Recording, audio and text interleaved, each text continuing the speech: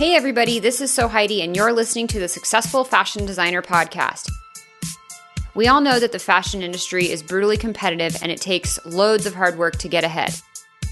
The problem is that everyone's secretive and tight lipped about their ways.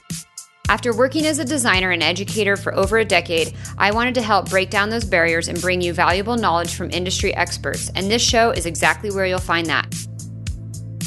Whether you're trying to break into the fashion world, make yourself more marketable, launch your own label, or become a successful freelancer, we'll help you get ahead in the cutthroat fashion industry.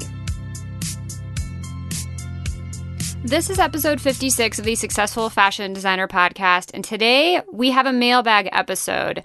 So these are questions that listeners either send in and uh, want me to answer on the show, or just a plethora of the questions I get in my inbox all the time from you guys. They're great questions. I just don't always have the capacity to write a full blown email answering your questions. And if I do that, you're the only person that gets to see the reply. So once a month here on the show, we do a mailbag episode where I pick the best questions from listeners and people out there and I answer them on the show. Um, today we have questions on freelancing and fashion, things about figuring out your niche market, the logistics of working from home, and how how to find time if you work in a full time job. How do you find time to get out there and find freelance work and to do the work? It is a tough balance. We're going to talk about how to do that today. We're also going to talk about working in the industry. What does it look like to get your first job? How do you actually go about doing that once you're out of school? Maybe if you've had a gap between graduating and getting your first job, how can you how can you go about getting your foot in the door finally? Um, we're going to talk about some skills brands expect when it comes to PLM software and Adobe Illustrator. And we're also going to talk about how to get into into the fashion industry if your professional work experience isn't in the fashion industry? How can you kind of come in at a sideways angle, which is, side note, exactly what I did? Uh, so if you guys have questions, you can always send them to podcast at sewheidi.com, S E W H E I D I.com. Again, if you have questions and you want them to be answered on the mailbag episode of the show, email me anytime at podcast at sewheidi.com. I will take the best questions and answer them on the monthly show.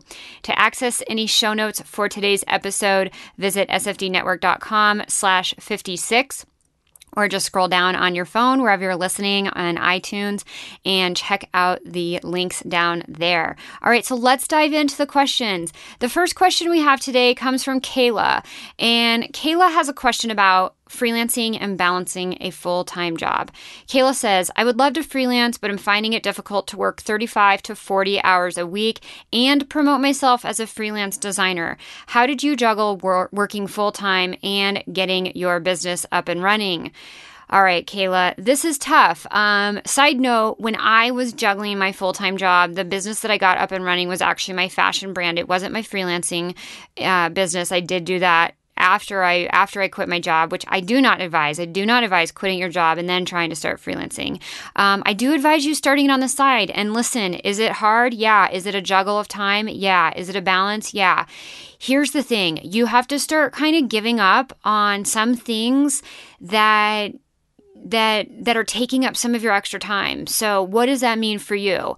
I don't know. Maybe that means the hour two a night you spend on Netflix or Hulu. Maybe that means the Saturday barbecue you go over to your friend's house for. What is that what what do you do every week that is let's say 5 hours? Where could you find 5 hours of time to invest in building your freelance career.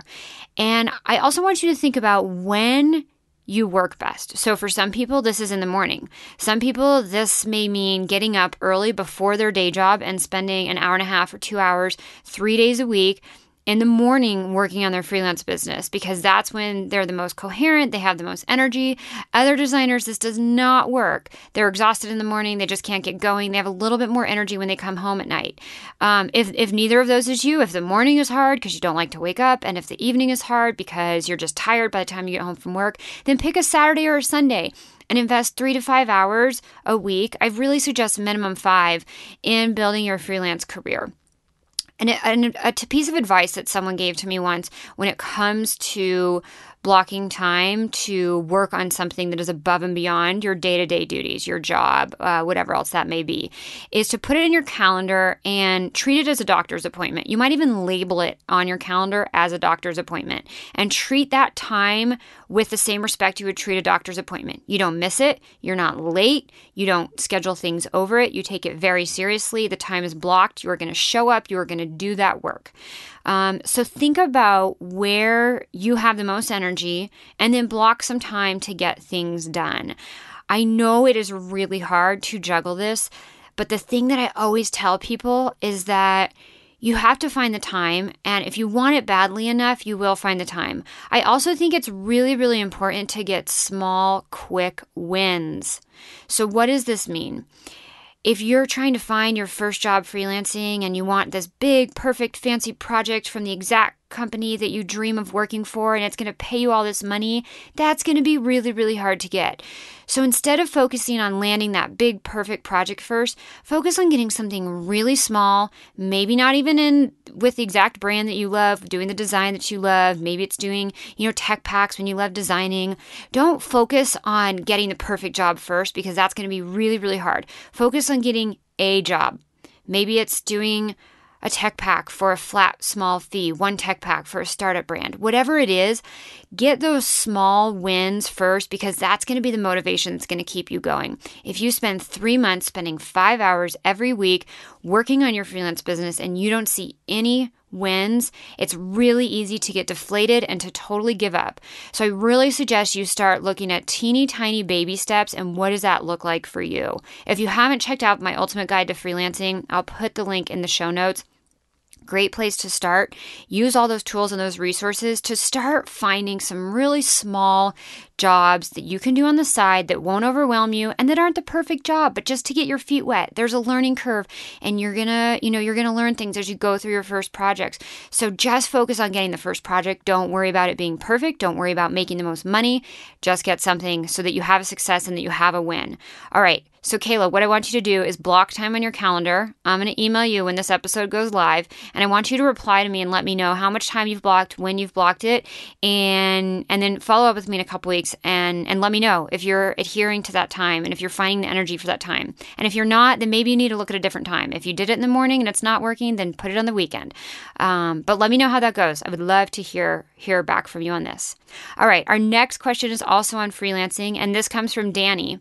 Dani says, I'm to narrow my niche into athletic wear. How do you freelance for multiple alike brands without crossing the line of conflict of interest? Or do you suggest to only work for one brand at a time?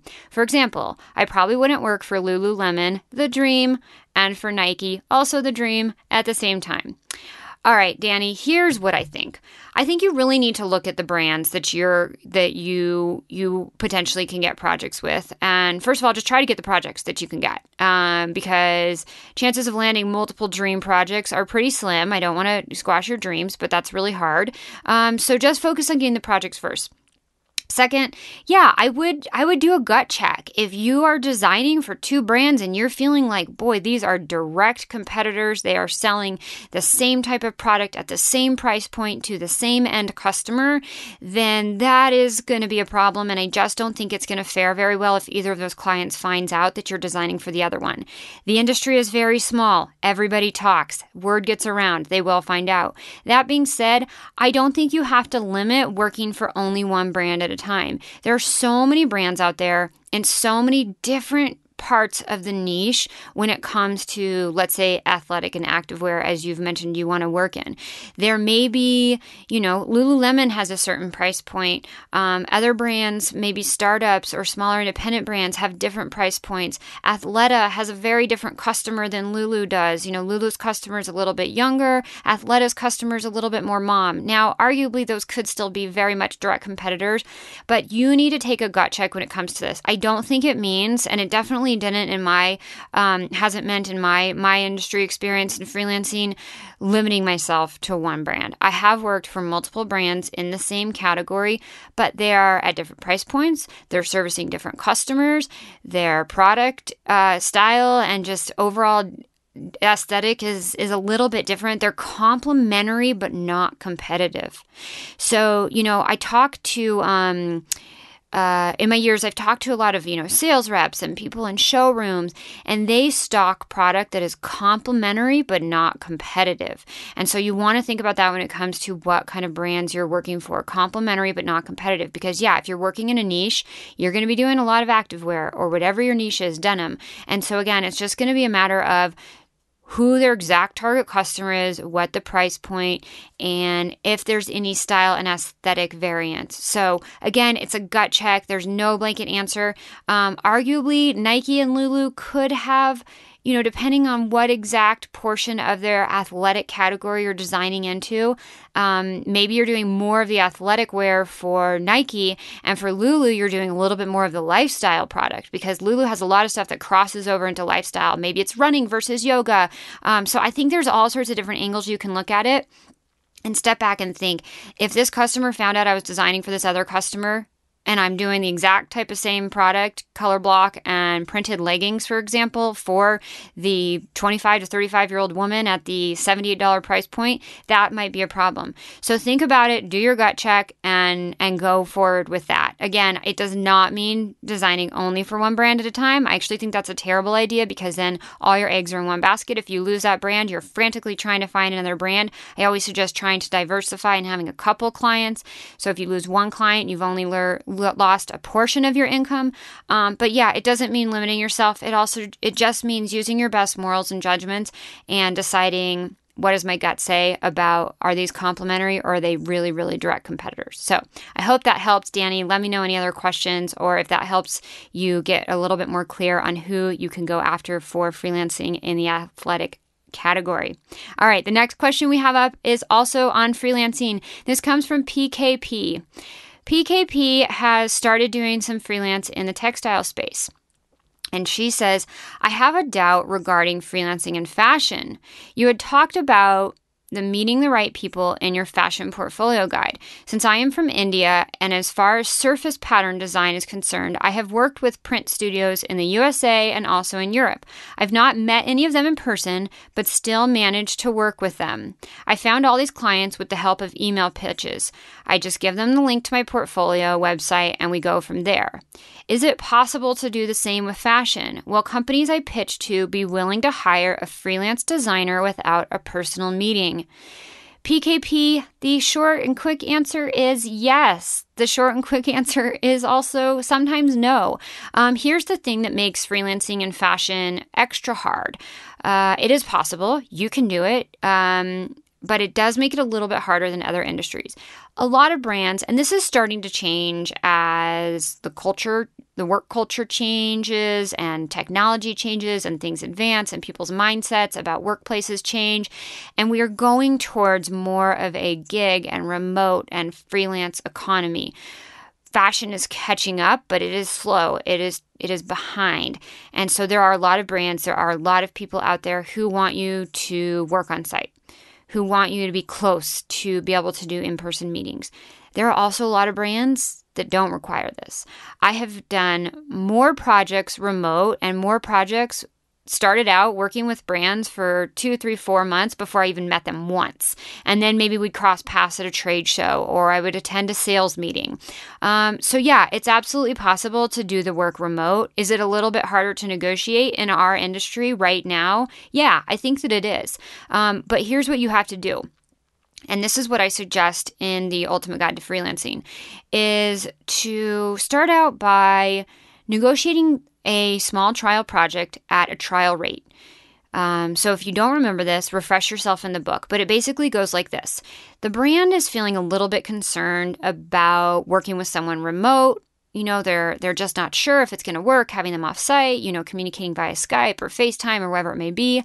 And so they're a little bit nervous. So for them, it's a big risk to invest in a big project or a high hourly rate with a freelancer offsite when maybe they've been burned before by a freelancer. Maybe a freelancer has flaked out on them and said they were going to deliver and then never delivered. You'd be surprised how many freelancers out there actually do that. They say they're going to do it and then they're three days late. And that puts a brand in a very uncomfortable position. We have deadlines to meet, we have goals, and, and you getting stuff done as a freelancer has a domino effect on everything else that we need to do. So, what you can can do is negotiate with them. And if there's any hesitation or reservation from their side about someone working remote and offsite and not having met in person, I think you can always first alleviate that by hopping on a Skype or a Zoom or a FaceTime, something where video to video. So you get to know them a little bit. And they know who you are, they see your face, they feel a little more comfortable. Second, I would suggest going in with, hey, listen, I know if they have expressed concern or hesitation about working remote, find out why. And then, depending on what their reason is, say, listen, I know the remote arrangement makes you a little bit nervous because ABC, XYZ, because, you know, you've had freelancers flake out on you before. Whatever they told you the reason was, approach that and say, listen, I know this is this is something that makes you a little bit uncomfortable because you've had freelancers flake out on you before. Let's do this. I'm going to do a small trial project for you. It's just going to take two or three hours, and I'm going to do it at a reduced rate so that's really low risk for you. And I'm going to show you that I can do an exceptional job. I'm going to show you that I can over deliver. I will meet the deadline. I will make sure you get exactly what you need. I am a good worker, and I can prove to you that I am not going to flake out, or whatever their reservation or hesitation was for working remote. Um, if you can get them to agree to that, then you just do a stellar job. You kick major butt on that trial project and you show them that you're great and why it's comfortable and okay to work with you remote. Um, I have I have done that with brands. I have I've known other freelancers that have done that with brands, and from there on after, most of the time, the the brand agrees you know what? Oh wow that was great. That was really easy. We've worked with freelancers before. You were such a different type of person to work with. Um, again you have to deliver. If you say you're going to you have to deliver. But that's a great strategy to sort of get over the uh, we really want someone in house hurdle that a lot of brands do have. So try pitching that. But yes, you can absolutely work with brands without meeting them in person. Again, a lot of the brands I've worked with, I've never met in person, or I haven't met until three, four, five, six months after we've been working together. We hop on Skype or Zoom or FaceTime, and it's absolutely fine. This is the the beauty of the modern technology that we have today. So I hope that helps PKP. Let me know um, if you try that strategy. Let me know how it goes. I would love to hear some updates from you. All right, next we're going to dive into some discussion on industry jobs and working as an employee. So, this first question comes from Nancy. And Nancy says, I studied fashion for four years and I have my bachelor's, but I graduated two years ago and I've been stuck. I'm scared I'll never be able to get myself out of this hole. I never want to give up on my dreams, but now at 23 with a cashier job, my dreams seem so far away. All I want to do is find a job in the fashion industry doing what I love to do, which is design. One day I plan on owning my own company, but where do I start? Should I go back to school, which is what I'm thinking? Honestly, I'm scared, stuck, and lost, and I just want to make my degree worth my time and money. All right, Nancy, my first advice is don't go back to school. I don't think you need to go back to school. I think a four year degree is plenty. Um, I, my guess is you're probably still paying off some student loans, and I just would hate to see you take on any more.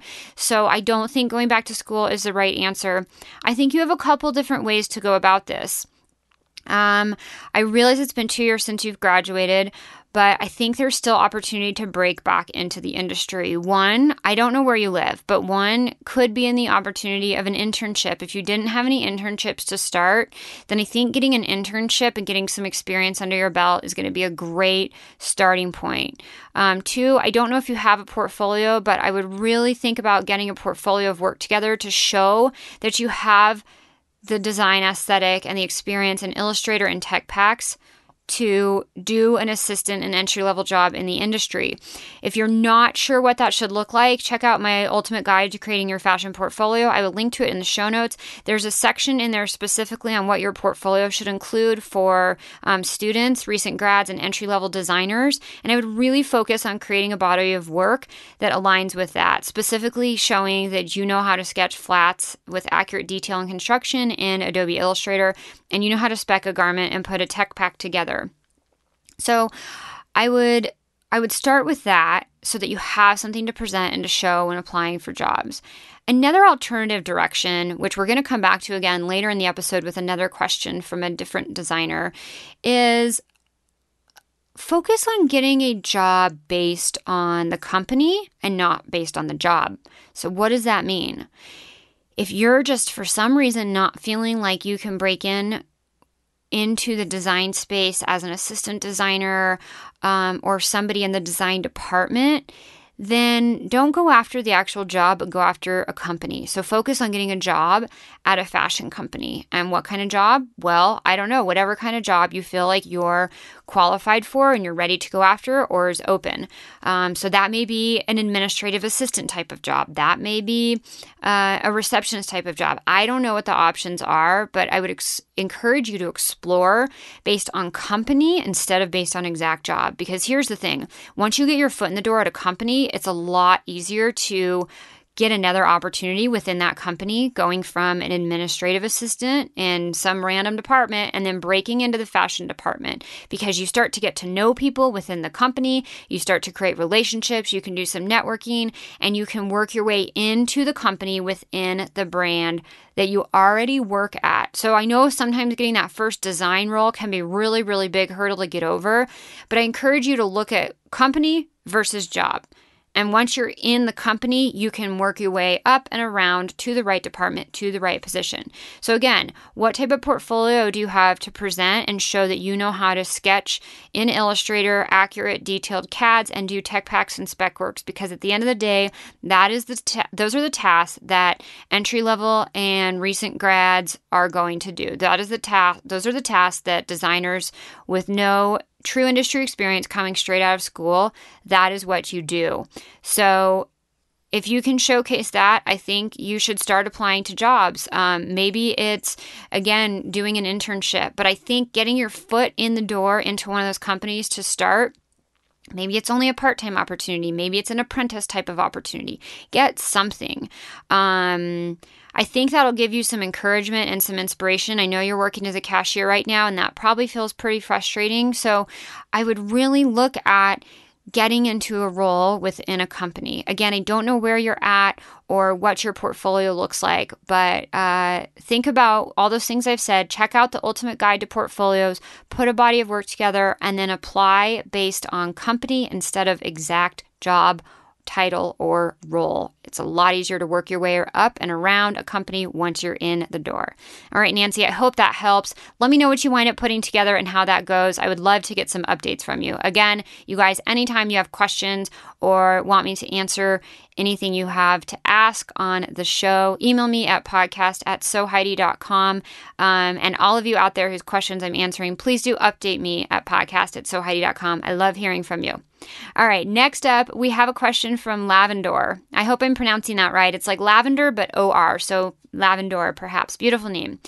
Her question is also on industry job experience, and she asks Could you speak to the importance of having knowledge of PLM, centric, and flex? So, for those of you who don't know, PLM or PDM is product lifecycle management software or product development management software. And what this is, is this is software essentially that tracks the lifecycle of a product in its development. So, uh, where it is in the sampling process, all the trims and the parts that are needed to make it, um, comments. It's it's like a really depending on the system, it can be a really really robust system that you build your tech pack in, and then vendors make comments in there, and you make comments in there, and it's used as a tool to compile your tech pack and then also manage and track your entire product through the development and the life cycle. So, uh, so to start over, Lavendor says, could you speak to the importance of having working knowledge of PLM, centric and flex, as it has become critical when applying for assistant to senior level design positions?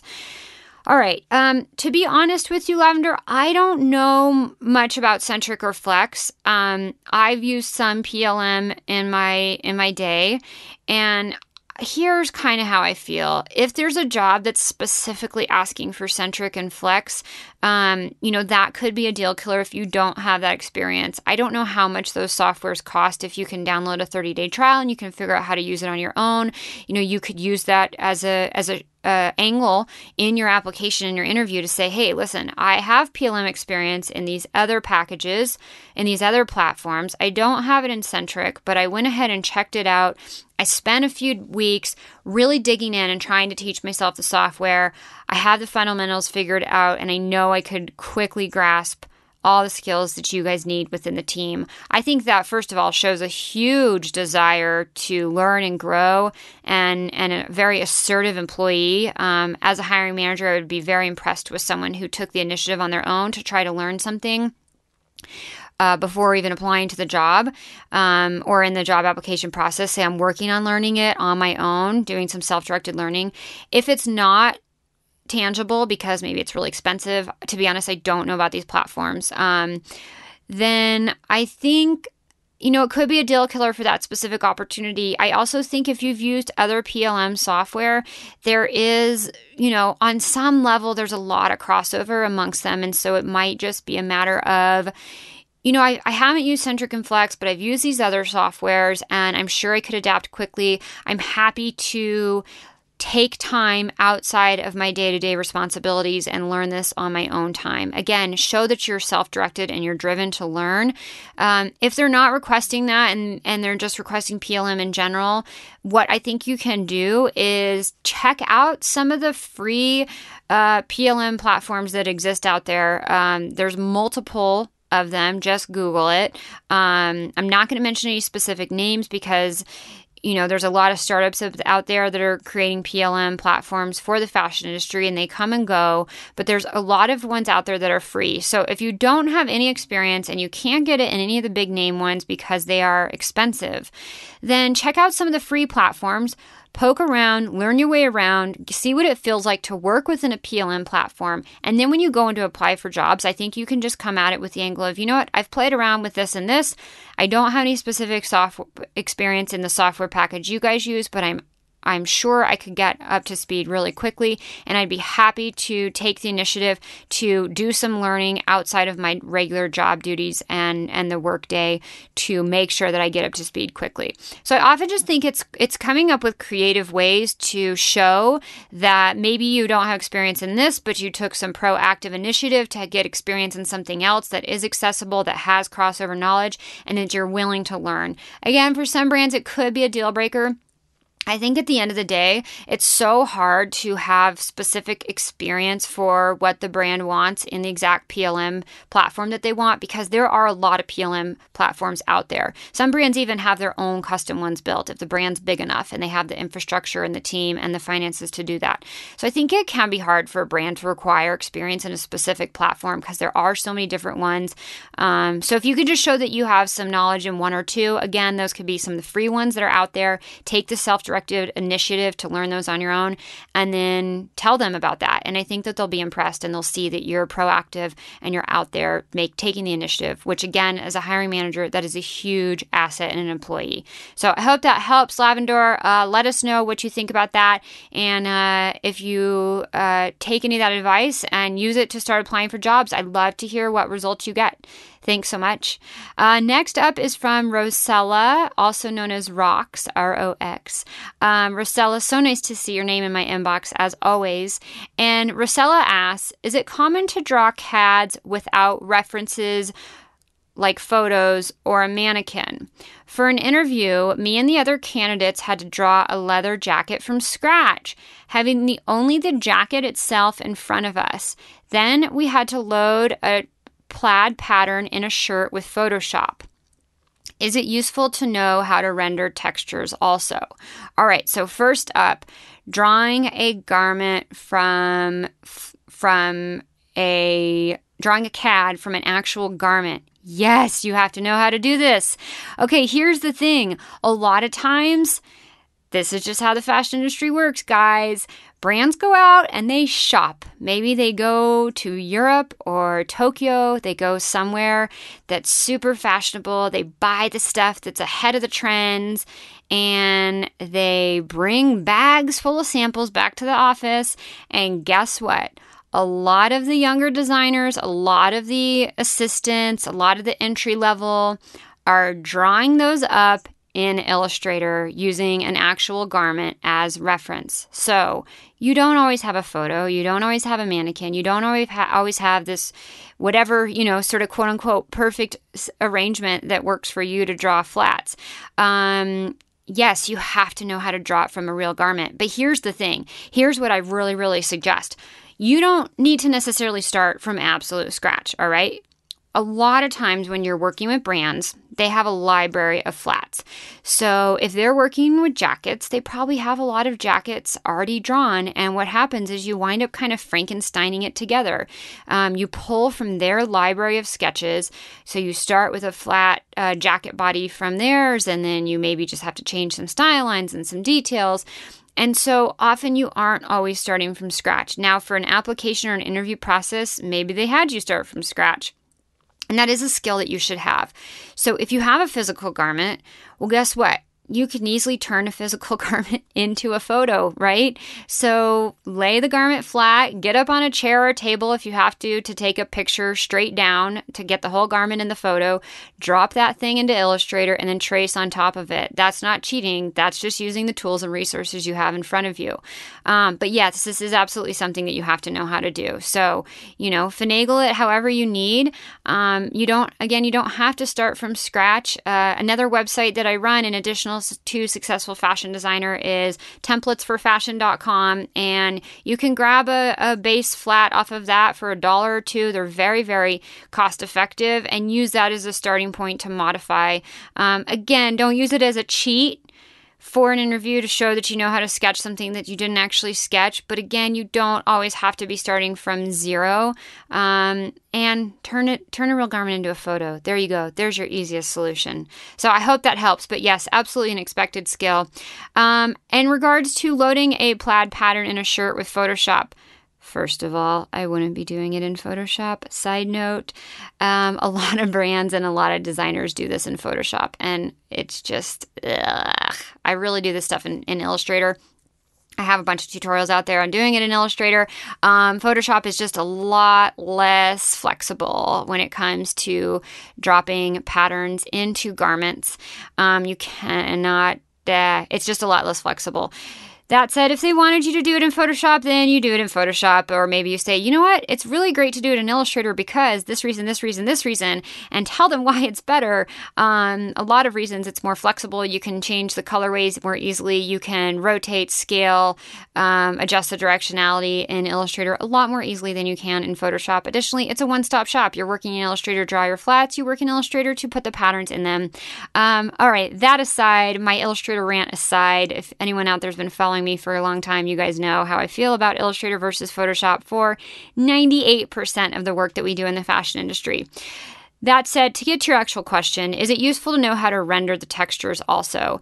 Um, yeah, you know what? I do think that it is really useful. Um, it's not that complicated of a skill set. Again, I have plenty of tutorials out there on rendering repeating patterns, whether they're from scratch, uh, whether they're from scans, whether they are from photographs, how to kind of mock them up in in Illustrator, sometimes with the use of Photoshop, but then I always bring the pattern back into Illustrator.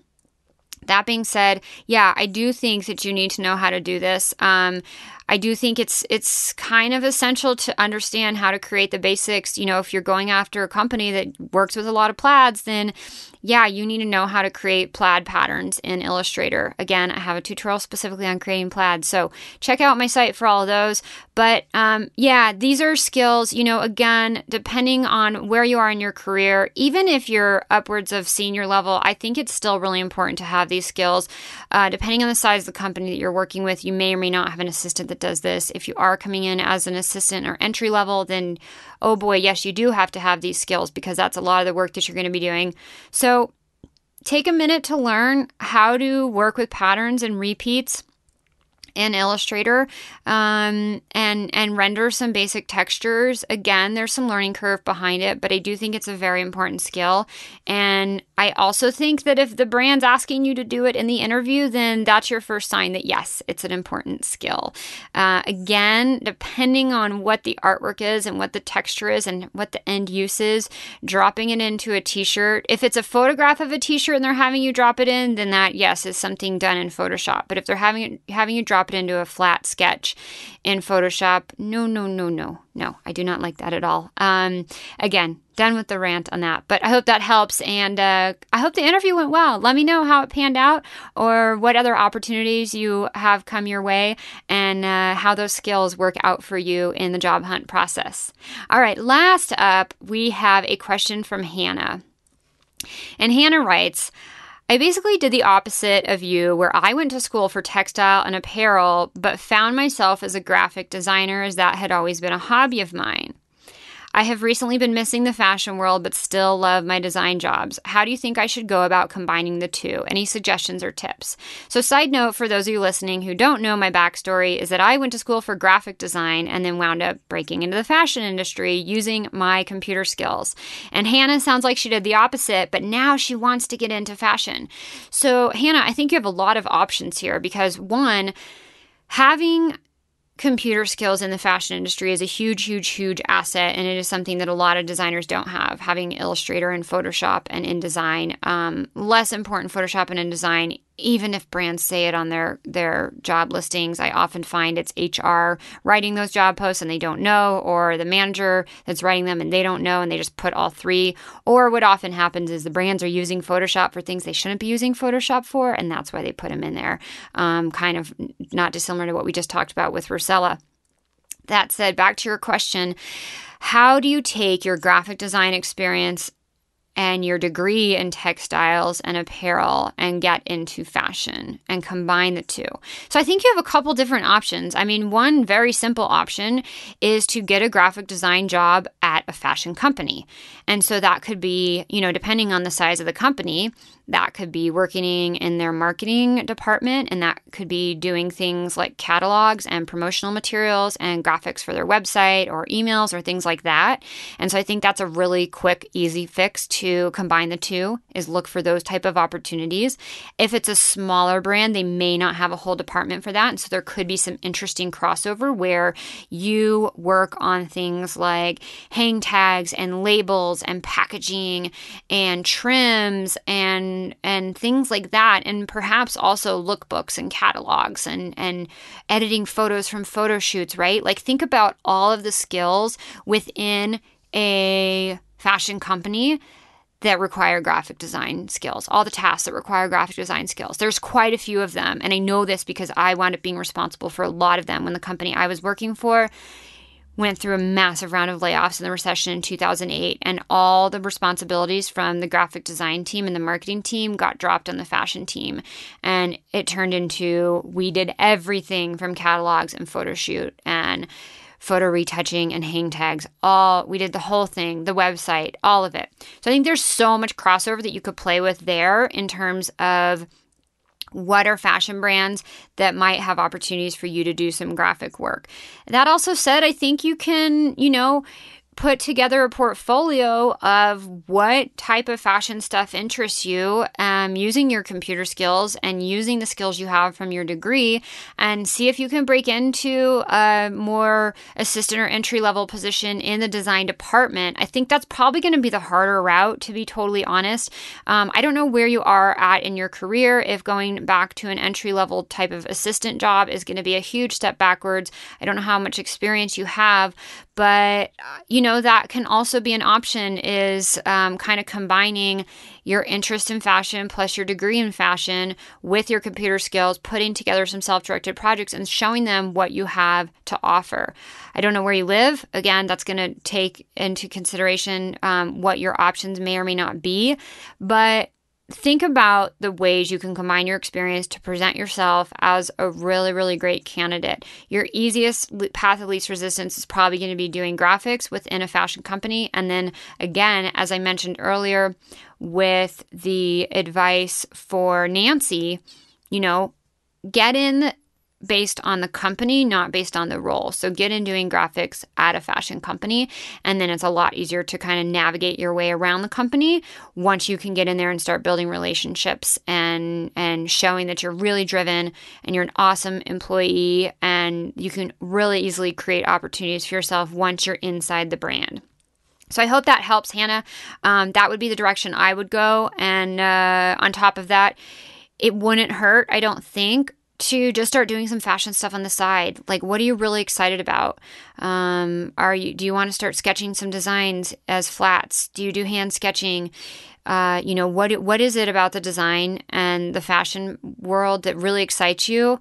Like wh- wh- are you doing that at night while you're sitting in front of the computer or sitting in front of the tv are you sketching um, so i would also encourage you to just start doing some of that stuff that's almost like if you're that excited about it, it's like an extension of your being. You just do it.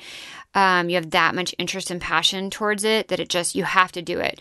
So think about what you can be doing on the side just for fun to get some of that creative energy out that could transfer over into you having some body of work to just show them. Um, and it might not be to get that design role, might not be to get that role in the fashion department. It might be that, that you just show it to them in the graphics department. So it's like, yeah, I have all this experience in graphics. I can do all these things. I'm also really interested in fashion, which is kind of why I'm, I'd love to work for your company and makes me a great match for this type of role. Um, so I think you can kind of pitch it and angle it that way. Uh, a lot of great ways you can go about that. So I hope that helps, Hannah. Again, keep me updated. Let me know what you, what type of opportunities you find and how that goes. Thanks so much for listening, you guys. Again, this is a mailbag episode of the Successful Fashion Designer podcast. If you want to get your questions answered, I do this show once a month, and you can send your questions about anything in the industry. Don't be afraid if it sounds like a silly or a stupid or a tiny question. No question is bad. And guess what? The first time I did this show, there were some really simple questions in there, and I got feedback from a lot of people that said, "Wow, I had that exact same question. Um, I totally got stuck on that." So, you know, if you have a question about something, chances are there's a lot of other people out there wondering the same exact thing. So, don't be shy. Send your questions to podcast at sewheidi.com. That's s e w h e i d i dot com. Thank you so much for listening. I really appreciate each and every one of you. If you guys love this show, if you listen to this show and you just think, gosh, there's so much great information here, um, which I know a lot of you do because the the reviews on iTunes are just phenomenal. Thank you guys so much for leaving all of those. But here's the thing there are so many other people out there that are dying to get this information and this knowledge, and it is by you telling other people about this show that the word spreads. So if you know someone in the industry who you think would be interested in this because they work in fashion or they want to get into fashion, please do me a favor and share this podcast with them. It really means a lot to me, and I'm sure it would mean a lot to them. For links on any of the references I mentioned in this episode, visit the show notes at sfdnetwork.com slash 56 or just scroll down on your phone or wherever you're listening and check out the show notes below the episode. Thanks so much for listening, you guys. I'll talk to you in the next episode of the Successful Fashion Designer Podcast.